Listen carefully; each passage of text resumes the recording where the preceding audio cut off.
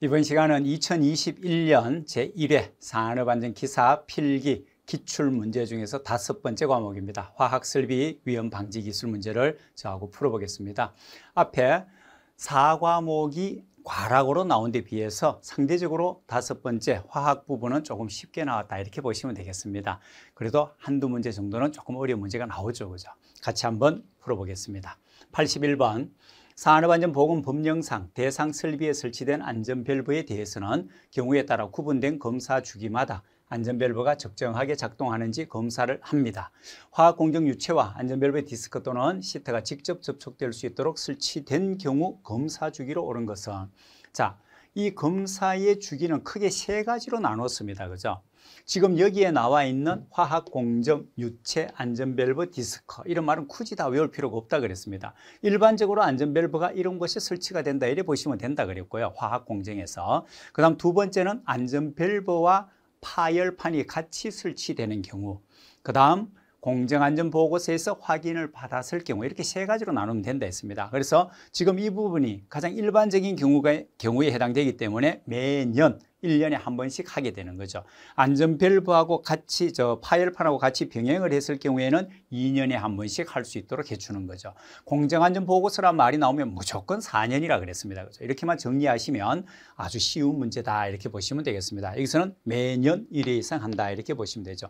2년마다 1회 하는 거는요. 안전밸브가 파열판과 병행해서 같이 설치되었을 경우 그리고 4년마다 1회 가는 건 공정안전보고서에서 확인받은 경우에는 4년입니다. 겁니다. 그죠? 공정안전보고서란 말은 안전검사할 때도 나왔었고 압력 용기에도 나오는 거죠. 다 공정안전보고서라고 말이 나오면 기간은 다 4년이다. 이렇게 통합해서 정리하시면 된다 그랬습니다.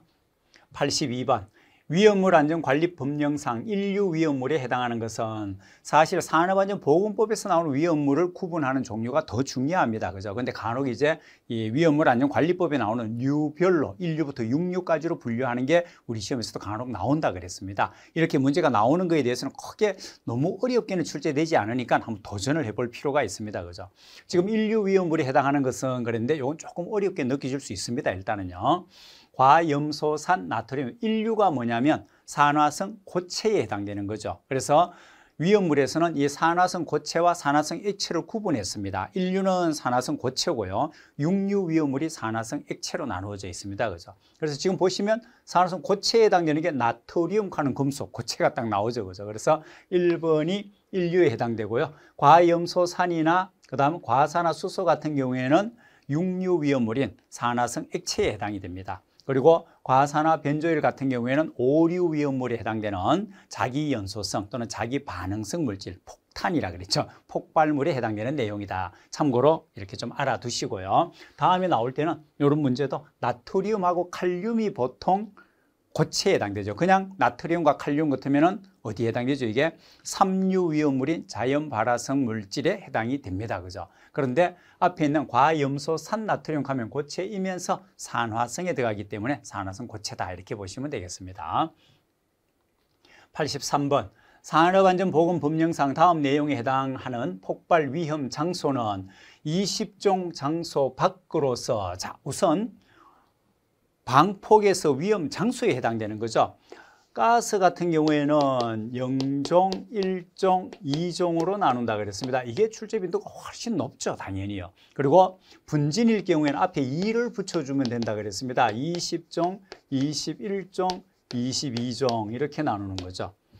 그리고 분진에 해당되는 거는 가스에 해당되는 것과 의미, 개념상으로는 거의 같다 이렇게 보시면 돼요. 가스냐 분진이냐 이 차이밖에 없다고 보시면 됩니다. 영종은 항상 폭발할 위험성이 있는 상태를 얘기하는 거죠. 그죠? 그래서 인화성 액체라든가 저장하는 탱크라든가 용기의 어떤 내부 이런 경우가 많다 그랬습니다. 그리고 일종 같은 경우에는 정상적으로 작업하는 과정 속에서 위험한 분위기가 만들어질 수 있는 위험이 나타날 수 있는 이런 경우에 해당되는 장소를 일종 장소라고 했습니다. 아주 쉬운 예로 그냥 주유소에 내가 기름을 넣으러 들어갑니다. 그러면 자동차에 연료구 주입구를 열어야 되겠죠. 그죠? 당연히 열어야 기름을 넣을 수 있으니까요. 근데 이걸 열면 안에 남아있는 기름의 유전기가 밖으로 나올 수 있죠. 그러면 그 막의 바깥쪽은 뭡니까?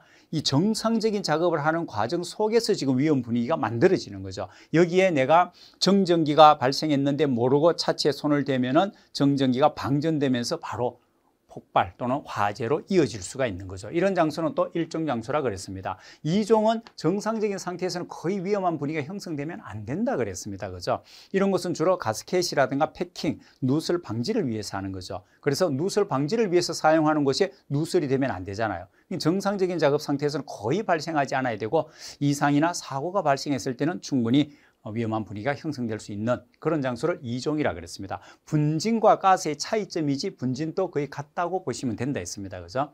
근데 20종 장소 밖으로 했으니까 여기는 아니고 그다음 밖으로 가는 이 부분만 보더라도 아 이거 21종이다 하는 걸 알 수가 있죠. 그죠?